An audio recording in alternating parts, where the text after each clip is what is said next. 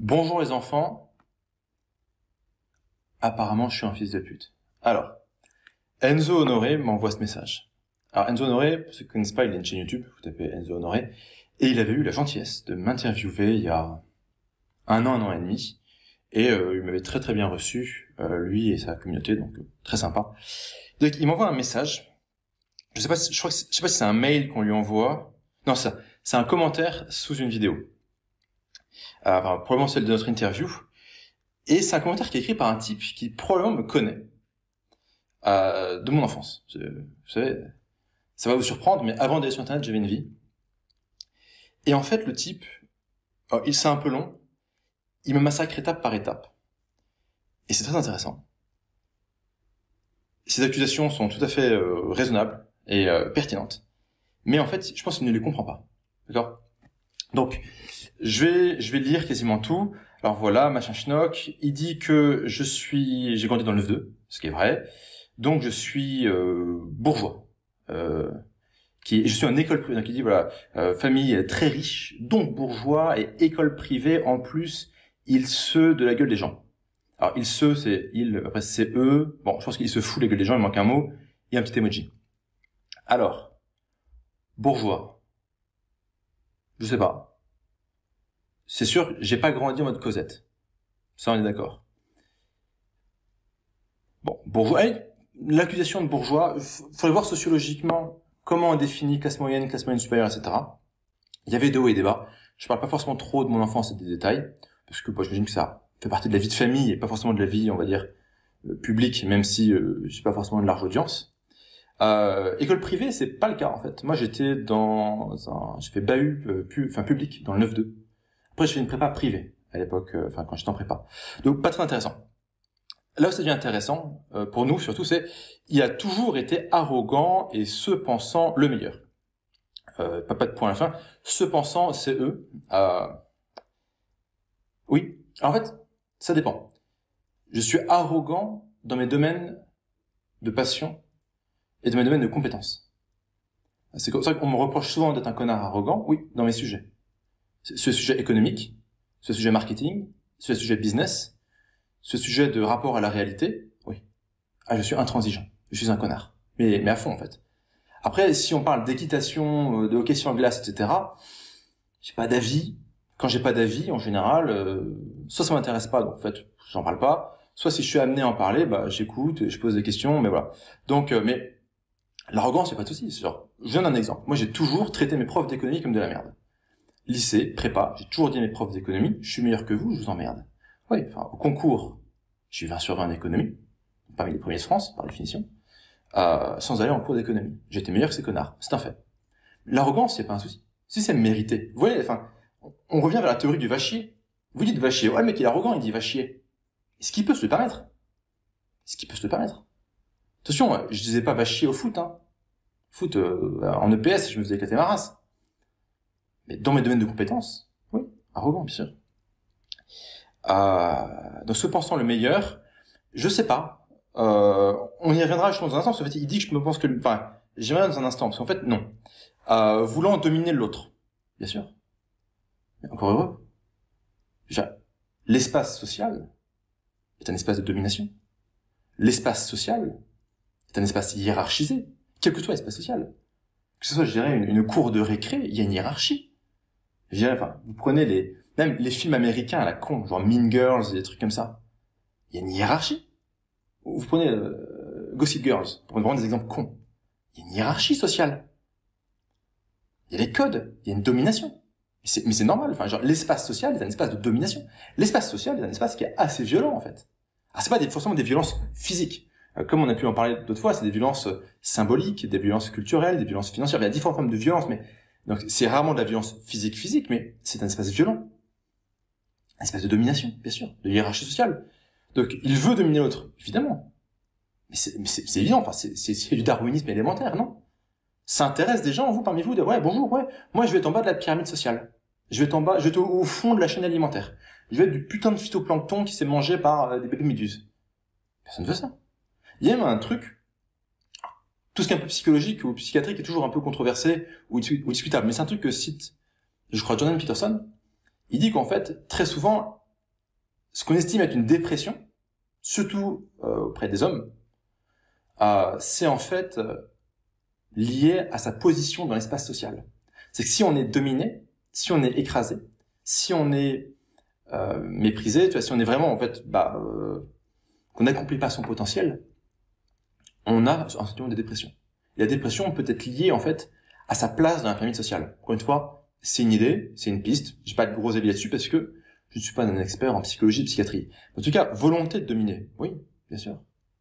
Attention, la domination, ça peut être bienveillante. Hein. La domination, ça passe pas forcément pas faire du mal aux autres. Hein. Je, je, ne torture pas des petits chatons. Quand j'étais enfant, je ne faisais pas de mal aux animaux. J'étais dur avec les humains. Ouais, mais c'est ce qu'il dit par tout. En gros, il dit je suis un gros connard, mais on va revenir.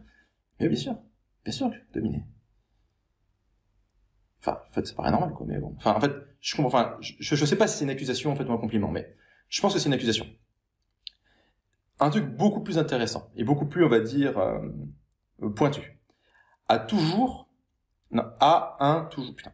A1 toujours, attends, A1 toujours un complexe. Bon, je pense a toujours, bon, enfin, a toujours eu, je pense qu'il veut dire un complexe d'infériorité en cours, donc à l'école, euh, et en vie peu sociale. Bon, et dans ma vie sociale, on va dire. C'est très mal écrit. Hein. Euh, la plupart des gens que je connaissais n'étaient quand même pas aussi analphabètes, mais bon, peu importe. Bien sûr. Et ça, je, je le revendique. Alors, est-ce que c'est un complexe d'infériorité ou un sentiment d'infériorité? J'ai pas le, le background, je d'études en psychologie pour faire la différence entre un complexe et un sentiment. Je pense qu'un complexe, c'est plus, euh, c'est plus prenant en termes de perception soi-même du monde qu'un sentiment, mais un sentiment d'infériorité, absolument. Je dirais, j'ai passé ma vie avec des gens plus intelligents que moi. Je veux dire, quand j'étais au lycée, moi j'étais dans un lycée public, donc où il y avait des sections internationales. Il y avait des gens, alors moi j'étais en section allemande, parce que ma mère est allemande. Bon un peu d'histoire familiale pour ceux que ça intéresse. Et j'étais nul en allemand. Parce que ma mère n'a jamais parlé allemand. J'étais une bille. j'ai appris l'allemand euh, à l'école, quoi. Là où tout le monde parlait allemand parfaitement. J'étais nul. Après, il y avait plein de gens en section internationale. Les mecs étaient jamais allés en Allemagne. Ils parlaient mieux allemand que moi. Ils étaient cognitivement plus intelligents que moi. Je suis arrivé en prépa. Mais les mecs étaient plus intelligents que moi. À la fin de ma première année de prépa, ma moyenne en maths, c'était 1,47. 1,47 sur 20. Pas sur 5, hein, sur 20. Sentiment d'infériorité, oui. J'ai des gens autour de moi qui avaient 20 en maths, 17 en maths. Quand je suis arrivé à HEC, les mecs étaient plus intelligents que moi. La plupart des gens, la moyenne des gens étaient plus intelligents que moi. Est-ce que j'ai un complexe d'infériorité dans des gens qui sont plus intelligents que moi Oui, bien sûr. Est-ce que j'aimerais être plus intelligent Bien sûr. Bien sûr. Et aujourd'hui, je passe ma vie professionnelle, c'est avec des gens qui sont plus compétents que moi. Mais qui ont plus de pognon, d'autres qui ont des meilleures euh, compétences sociales, pour connecter, pour voilà, pour faire du réseau, etc. Est-ce que quand je les vois, quand je vois comment ils fonctionnent, j'ai un sentiment d'infériorité? Absolument. Mais la question, c'est qu'est-ce qu'on en tire? Je donne un exemple super con. Fred Henrich. J'ai découvert Fred Henrich il y, il y a assez longtemps via ses textes de vente et via la réputation qu'il avait auprès des médias bailleurs. Traduction, c'était un mec qui mettait 500 000 par mois, je crois, en acquisition et tout. Le mec, il avait même pas 20 ans. Est-ce que j'ai un sentiment d'infériorité en tant que copywriter Est-ce que j'ai un sentiment d'infériorité? Absolument. Alors qu'est-ce que j'ai fait? J'ai pris les textes de Fred je les ai analysés, je les ai, imprimés, je les ai charcutés, je les ai surlignés, je les ai, je les ai travaillés, j'ai essayé de les comprendre. J'ai pris contact avec le mec, je l'ai invité sur la chaîne qu'il nous explique comment il fait. Il est revenu une fois ou deux pour nous expliquer comment faire d'autres trucs, il nous a, il nous a, apporté du knowledge. Sentiment d'infériorité, bien, bien, à bien des égards, sur le copywriting, oui, il est meilleur il est meilleur. Point barre. J'apprends auprès du gars. La question c'est, quand vous avez une faiblesse, ça fait, je sais que ça fait développement personnel de merde, mais quand vous avez une faiblesse, on l'assume. Vous êtes nul pour faire un truc, vous n'êtes pas bon, vous avez une déficience, une incapacité ou un truc. Bah, la question c'est comment vous compensez, comment vous corrigez. Donc corriger c'est bah vous êtes nul ici, vous devez pour être bon. Compenser c'est vous êtes nul ici, vous n'arriverez pas à être bon là, comment vous compensez ailleurs? Je prends un exemple scolaire. J'ai jamais été brillant en maths. J'ai compensé sur la philo, les langues, l'économie, etc. Bon, je sais que les exemples scolaires, ça fait un peu un, un peu neuneux, mais bon, voilà, c'est simple. Business. J'ai jamais été bon sur l'acquisition de trafic. Je suis pas bon en SEO. Tout ce qui est des techniques en ads, etc., Google Ads, Facebook Ads, Taboola, etc., je suis pas bon là-dedans. Je compense sur la conversion, sur les upsells, sur le panier moyen. Donc, en fait, ces faiblesses, soit on corrige, soit on compense. C'est normal. En fait. D'ailleurs, si on réfléchit d'un point de vue, genre, je prends un, exemple radical, et je suis pas en train de me comparer à l'exemple. Donc, euh, qu'on n'ait pas me traiter de mégalo. Vous prenez Amazon. Amazon, c'est la boîte qui a transformé chacune de ses faiblesses en, en, je dirais, une source de cash flow et de puissance. Amazon, ils ont des problèmes avec la poste, avec UPS, contre quoi, la logistique, tout ça. Bah, ils créent euh, Amazon FBA, tout le réseau logistique qui va avec. Prennent une faiblesse, ils en font un business, une source de cash flow. Amazon, ils sont coincés dans un bras de fer avec les maisons d'édition. Sur les modalités d'édition, les droits d'auteur, les conneries, les machins, les bidules, etc. Bras de fer avec toutes les maisons d'édition. Puis Amazon, ils créent Kindle Direct Publishing, KDP. Et puis après, ils vont même sortir leur petite liseuse là, euh, noire là, qui est super, pas très cher, pour aller encore plus loin, je dirais, dans euh, la conquête du marché. Amazon, ils avaient des problèmes, des faiblesses en ce qui concerne les serveurs. Vous êtes Amazon, vos dépenses de serveurs sont phénoménales. Qu'est-ce qu'ils ont fait? Bah, Ils ont créé AWS. Et aujourd'hui, Amazon est rentable grâce à AWS, leur boîte de serveurs. Ils sont numéro un au monde dans le cloud. J'ai plus les chiffres en tête de combien de milliards ça rapporte par an, mais c'est phénoménal. Donc ils transforment non seulement une faiblesse en une force et en une source de cash flow. Alors vous allez me dire, j'avais partagé ça en, par email en disant, bon les mecs, pensez comme Amazon, quand vous avez un coût ou une faiblesse, ah, moi j'ai dit, quand vous avez un coût, transformez-le en cash flow. Il y a un compte qui me dit, ouais mais moi j'ai mon coût, c'est le pass Navigo, alors je fais quoi? Je crée la RATP bis Évidemment que non. Donc en fait, euh, en fonction, on évalue si c'est pertinent ou pas. Et je trouve que l'image d'Amazon est intéressante. Il y a une faiblesse, ok, on prend acte de la faiblesse, et on en fait une force. Ou dans leur cas, une source de cash flow. Donc, tout ce qui est sentiment d'infériorité, etc., absolument. Après, il dit un truc, euh, donc, euh, et en vie peu sociale. Enfin, donc je pense que il dit que dans ma vie sociale, j'étais, euh, en, voilà, en situation de, enfin, je sais pas, souffrance, quoi, d'après ce qu'il dit. Oui, j'ai toujours été, et, et, et je reviendrai dans un instant là-dessus parce que c'est important, inadapté socialement bien sûr. J'ai toujours eu très peu d'amis. Ouais. Est-ce que c'était drôle? Non, pas drôle du tout. Quand t'as 15 ans, t'as pas de potes, c'est pas drôle. Enfin, j'ai pas pas de potes, mais c'était pas très populaire. C'est pas drôle. Mais là, pareil. Je suis pas bon pour interagir avec les gens.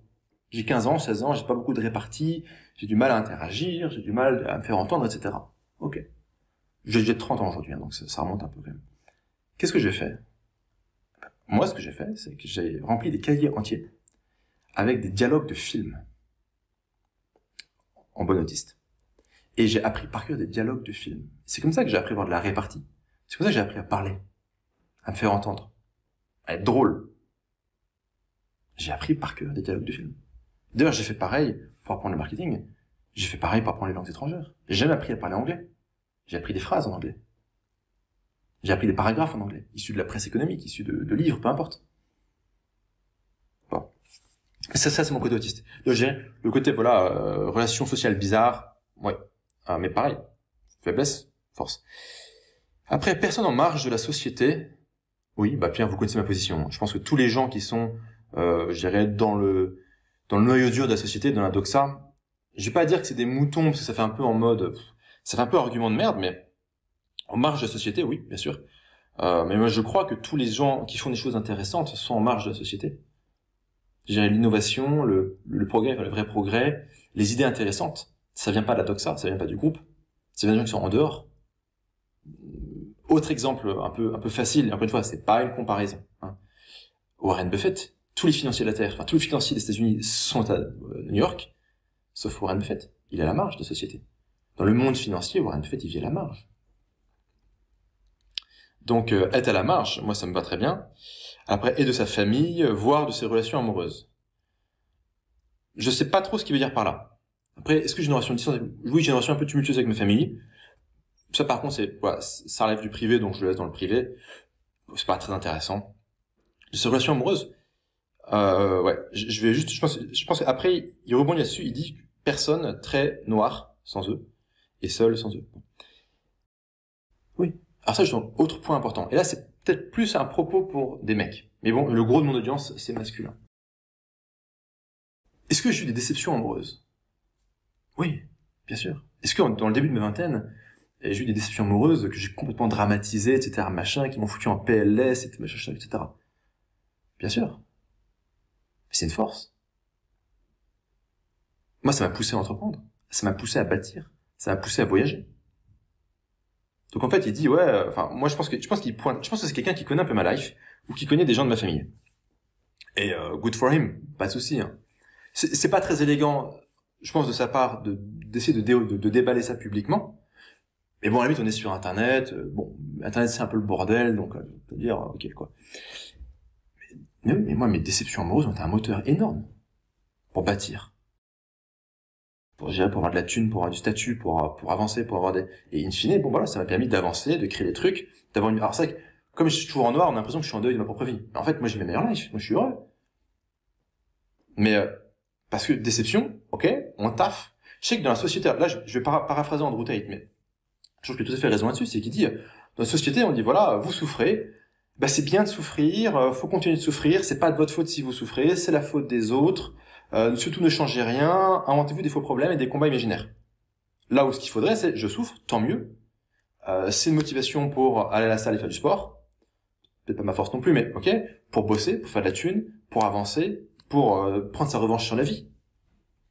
Pareil, notre société occidentale euh, a complètement, a complètement raté ce point-là. Quoi. Donc ouais, ouais, déception, euh, être très noir et très très seul. Ouais, j'étais un solitaire et je pense que j'ai eu des périodes à vide, ouais, bien sûr, bien sûr. Je j'en ai parlé quelques fois, mais ouais, c'est. Euh... Et je sais pas si j'aurais dit que j'étais en dépression parce que j'ai pas été diagnostiqué comme tel, et puis surtout, j'ai l'impression que de nos jours, tout le monde s'invente un peu des maladies parce qu'on ça les arrange, mais voilà. Après, prochain point, a toujours eu côté sadique et pervers, même parano sur la vie. Alors, a toujours eu un côté sadique et pervers, même parano sur la vie. Alors, Là-dessus, je suis tenté à nuancer parce que euh, parano sur la vie, oui. Bon, vous me connaissez. Hein. Ça, je pense que ouais, je suis parano. Euh, les perversions, on va dire, c'est relativement large comme notion, donc j'aurais du mal à savoir euh, de quel type de perversion il, il, fait, il fait, enfin, il, enfin, il pense quoi. Le côté sadique, je sais pas. Je pense que ça, c'est une accusation qui est réaliste. C'est vrai que j'ai un rapport social, j'ai un rapport aux gens qui est souvent brutal. Je pense qu'il y a pas mal de gens qui ont travaillé avec moi qui pourraient dire la même chose. Que je suis un énorme sadique un psychopathe. Je pense. En, vrai, je, je, pense que ça c'est une accusation. C'est un truc sur lequel j'ai travaillé. C'est j'ai un rapport aux gens, j'ai un rapport humain qui est brutal, euh, où je suis souvent irrespectueux. Et honnêtement, j'y travaille. Et aujourd'hui, les gens avec qui je travaille savent me, entre guillemets, me rappeler, même s'ils travaillent entre guillemets pour moi, on va dire, ils savent me rappeler à l'ordre. Tu vois, ils savent, ils vous apprennent progressivement à, soit, en fait, quand je m'énerve tout seul, de se dire, en fait, ils s'énervent tout seul, soit de me dire, enfin, de m'envoyer le feedback, euh, là, tu vas un peu trop loin, euh, fais un peu gaffe, quoi. Euh, donc, euh, ouais. Après, moi, ça, j'y travaille. Mon excuse, qui est bullshit, parce qu'on n'a pas d'excuse, c'est mon côté autiste. C'est qu'en fait, il y a des trucs qui me font péter un câble. C'est que quand dans ma boîte, les mecs, ils vont mal faire un funnel, un texte de vente, ou qu'en fait, ils vont faire des trucs, putain, je l'ai déjà dit, mais une fois les mecs, sur une de mes verticales que j'ai fermées depuis.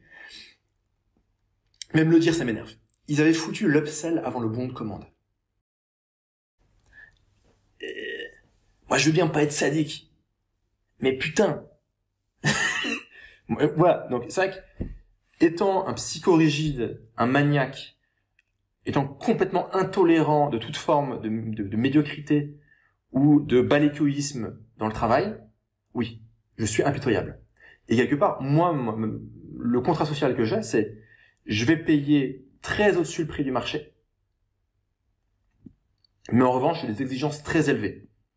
Et je vais pas torcher le cul des mecs pendant 5 ans. J'ai des cours en ligne, les gens qui bossent pour moi ont accès à mes cours, ils peuvent les suivre gratuitement. Il y a tout là-dedans. Je vais pas venir leur torcher le cul, euh, voilà, leur mettre la petite couette et leur broder le lit, quoi. Non, ça je sais pas. Euh, pour moi, je dirais c'est inqualifiable que des gens qui travaillent dans mes boîtes soient moins compétents, moins soigneux dans leur boulot que mes clients, que vous.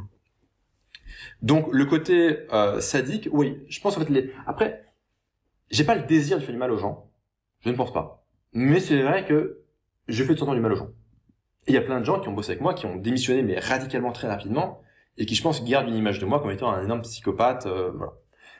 Et, euh, c'est dommage. Et ça, ça me coûte. Ça, c'est un point important, et c'est un point qui me coûte très cher, parce qu'en termes de lien en termes de gens talentueux que j'ai perdus, en termes de relations pro qui ne sont pas développées, ou même personnelles qui ne sont pas développées à cause de mon côté hardcore, là je pense que cette personne, personne qui évidemment laisse un commentaire anonyme, euh, pointe à quelque chose où il y a du vrai.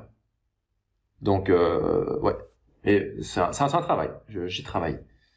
Euh, après, il y a un autre truc sur lequel je suis un peu plus dérangé, mais a toujours eu des propos racistes et anti de certaines communautés. Bon, je crois que je suis raciste contre les gens qui savent pas écrire, mais euh, là-dessus, je vais itérer sur le truc. Déjà, petit point, moi j'ai un joker. Contrairement à tous les Black Lives Matter, moi j'ai un joker. À savoir que je suis originaire de Martinique. Alors ça remonte à un siècle à peu près, et mes ancêtres étaient blacks. oui, ça remonte à longtemps. Mais moi, contrairement à beaucoup de gens qui pleurnichent aujourd'hui, mes ancêtres ont été réduits en esclavage. Mes ancêtres ont bossé dans des putains de champs de canne à sucre. Je sais qu'ils foutaient dans la, Martinique, un truc comme ça. Donc, ce qui fait que, dans le genre, et dans ma famille, moi, quand ma mère est blonde aux yeux bleus, bah, je, suis, plutôt pâle, en fait. Mais dans ma famille, on est plutôt bronzé, en fait. Donc, dans le genre quatrième Reich, on fera mieux. Quoique, sur le côté allemand, on peut récupérer un petit côté, ouais, quand même, machin, bon. En fait, c'est simple. Euh, sur la question du racisme, qui est un truc qui occupe beaucoup les gens aujourd'hui, qu'un sujet de société important, moi je vais donner mon point de vue. Je pense que les opinions racistes, et, enfin, je sais que ça va être, enfin, je sais pas comment le dire sans que ce soit sorti de son contexte. Donc, moi je pense que les opinions racistes ne sont pas un problème en fait. Je vous donne un exemple. Je je donne ma raison. Pourquoi c'est pas un problème en fait. Très paradoxalement. Moi je suis chef d'entreprise, d'accord? Si je refuse des clients en raison de leur appartenance religieuse, même on pourrait dire orientation sexuelle, euh, ethnicité, euh, couleur de peau, ce que vous voulez, etc. Si je refuse ces clients, ils iront chez un concurrent. Je vais perdre des parts de marché. J'ai pas intérêt. Vous savez, je suis assez rationnel dans la défense de mon intérêt. C'est que ce que le gars dit pas et qu'il a pu ajouter, c'est que je suis un énorme égoïste. Ouais, je suis un gros égoïste. Donc moi, je suis obsédé par la défense de mon intérêt et de l'intérêt des gens qui dépendent de moi, ou qui ont besoin de moi, ou qui m'aiment et que j'aime en, retour. Et donc c'est pas dans mon intérêt. Autre configuration, recrutement. Si je commence à refuser des talents, en raison pareil de ethnicité, orientation sexuelle, religion, ce que vous voulez, etc. Je me prive de talents.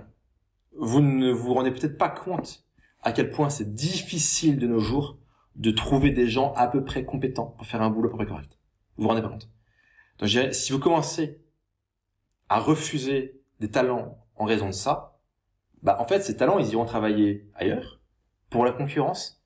la concurrence pour leur donner les clients et les talents pour répondre à la demande des clients. Votre espérance de vie économique, bah en fait elle est proche de zéro. C'est pour ça que moi je pense que tout ce qui est euh, les mesures de, de, discrimination positive, les lois à la con, les trucs comme ça, bah, je pense que c'est des conneries en fait, ça sert à rien. Parce que un, le mec qui est raciste, il restera raciste. C'est pas parce qu'il y a une loi qui va arrêter de l'être, donc ça sert à rien, encore une réglementation à la con. Et petit 2, c'est la sélection naturelle, quoi. Le mec, il refuse, il refuse des clients, il refuse des talents, bah, il crève, quoi. Moi, en tant que business, je crève, quoi. Ça, je veux dire, euh... en fait, c'est super logique, la vie, quoi. Enfin, je pense que les gens, ils se compliquent un peu la vie, quoi. Après, d'ailleurs, évidemment, sur ces questions-là, moi, j'ai l'impression qu'il y a quand même un peu un business aussi, hein. Mais bon. Euh, alors après, il dit, il a toujours eu un vrai don pour son baratin. Et ça, c'est faux. J'étais quelqu'un de très introverti. Euh, j'ai pas été bon pour baratiner. Je, je suis pas un, bon vendeur.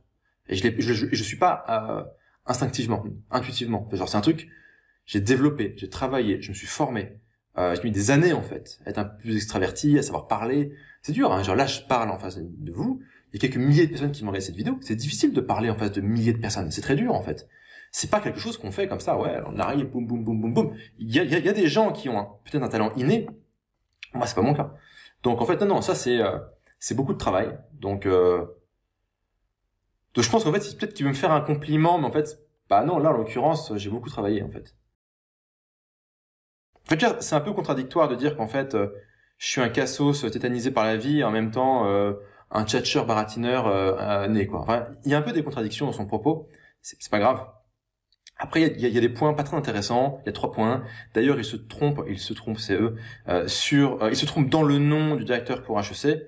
Non, non, moi quand j'y étais, c'était Bernard Ramanonsou, le directeur, et le directeur euh, adjoint, je crois que c'était Éloïc Perrache, de mémoire. Deux personnes tout à fait sympathiques et très intelligentes. Et je sais pas si ça a changé depuis. pas d'avis. Après, bref, un pauvre gars, même riche, il me fait de la peine. Écoute, euh, ok, c'est ton opinion et je, je pense que c'est ok. Et après, il y a un propos qui est très rassurant. PS, je suis pas jaloux, ma vie est belle. Eh bien, écoute, je pense que le plus important, c'est ça, c'est qu'il ait une belle vie. Parce qu'on ne vit qu'une seule fois, donc il faut qu'on en profiter. Mais des points intéressants. Je trouve qu'en fait, vous savez, quand, quand on travaille sur Internet, en particulier quand on montre un peu sa gueule, il y a une période de début qui est un peu compliquée, qui est vos premiers haters, les premières personnes qui vont vous traiter de fils de pute sur Internet. Et, euh, c'est compliqué. Les premières fois, c'est compliqué. De se faire traiter de fils de pute, des gens qui balancent des infos sur vous, machin, n'importe quoi. Bon, en général, c'est un peu fantasmé, mais euh, même toujours, c'est un peu fantasmé. C'est compliqué, et après, on en revient aux fondamentaux. Si chaque jour, avant midi, quelqu'un vous a pas insulté, si vous n'avez pas fait votre travail, en tant que marketeur, et après, quoi que vous fassiez, de toute manière, il y a des gens qui vont gueuler, ça fait partie. C'est Internet, les gens ont la possibilité de commenter pour gueuler, euh, et donc ça fait partie du game, quoi. Donc c'est euh, c'est intéressant. Et je trouve qu'en fait, paradoxalement, les points, il y a les points intéressants qui sont mentionnés. Donc les points sur l'arrogance, mais l'arrogance, c'est le prix et le résultat du travail acharné. La volonté de dominer, bah, c'est très sain. Après, ça dépend. Si, si, si, vous voulez dominer pour torturer les gens et, torturer des petits chats et tout, voilà, il y a un problème. Mais bon, si c'est pas ça, il n'y a pas de souci. Euh, la prise de conscience de ses faiblesses et de, son, de ses infériorités dans des sujets spécifiques en vue de les corriger pour croître, soit corriger, enfin, soit, soit, soit corriger, soit compenser. Oui. La marge de la société, oui. Mais même nous, marketing underground, enfin, c'est cette communauté sur laquelle on est, on est tous des putains de déviants. Hein. Peut-être que vous l'avouez pas, moi je vous le dis, hein, vous êtes tous des putains de déviants les mecs. Hein. Déjà, être français pour faire de l'argent, c'est déjà être déviant, donc euh, ça va vite. Hein. Euh, après, je dirais, euh, en tant qu'on va dire que, je, que jeune adulte, avoir des déceptions amoureuses, c'est un moteur. le côté bon bah, paranoïaque, moi je pense que seuls les paranoïaques survivent. Et putain, ça fait juste trois ans que la vie me donne raison. Donc ça, moi je suis parano, je vais le rester. Le côté sadique, ou la perception comme telle de mon entourage là, c'est un vrai sujet. Donc en fait, euh, comment être, euh, comment tirer le meilleur des gens euh, avec qui, qu'on fréquente, tout en se respectant soi-même, surtout en tant qu'employeur, c'est compliqué. Le racisme, c'est une absurdité économique. Je suis très rationnel économiquement. Franchement, on peut me reprocher beaucoup de choses, mais dans la défense de mon intérêt, dans la défense de ce qui est bon pour ma gueule, ouais, je suis plutôt bon là-dedans. Le don pour le baratin, non, ça s'apprend, tout comme le copywriting, ça s'apprend. Et après, bah, on apprend que ce monsieur, ou, cette femme d'ailleurs, je sais pas, euh, est très heureux ou heureuse. Non, heureux, c'est un mec jaloux, quoique vu son orthographe, dans la vie. Et on lui souhaite juste bah, d'apprendre à écrire en français. Voilà. C'est les enfants, un petit mot quand même sur la fin, parce que j'ai arrêté la vidéo de manière un peu abrupte. Euh, je pense que je ferai pas d'autres vidéos comme ça, parce que je commenterai pas les, gens qui, je pense m'insulte. Je pense que là, ce que cherchait à faire la personne, je pense, c'était de m'insulter en fait. Donc, c'est ok. Donc voilà, je, je le ferai pas une autre fois. Euh, le but de cette chaîne, c'est pas de vous raconter ma life, vous en foutez un peu. Le but de cette chaîne, c'est euh, gagner de la thune, gérer cette putain de life, avoir des options. D'ailleurs, gérer cette putain de life et vivre cette putain de life. Voilà. Donc je vais vous faire un truc. Enfin, je vais faire le petit couplet de développement personnel. Vous vivez une seule, une seule putain de fois. Quoique, on peut croire en la réincarnation et tout, c'est valable comme théorie, mais a priori, on peut partir sur l'hypothèse que on vit qu'une seule fois. Donc juste euh, avancez, vivez votre life, kiffez. Il y a toujours des gens qui vont vous chier la gueule. C'est ok. c'est normal. Et donc, euh, à un moment donné, votre caractère, qui vous êtes, bah, ça se fait au jour le jour. Euh, dans ces situations-là. Donc en tout cas, voilà. une vidéo un peu hors compétition, hors catégorie. Et dans les prochaines vidéos, on repartira sur du market, du make money et une petite pincée de survie et de paranoïa comme toujours. A plus.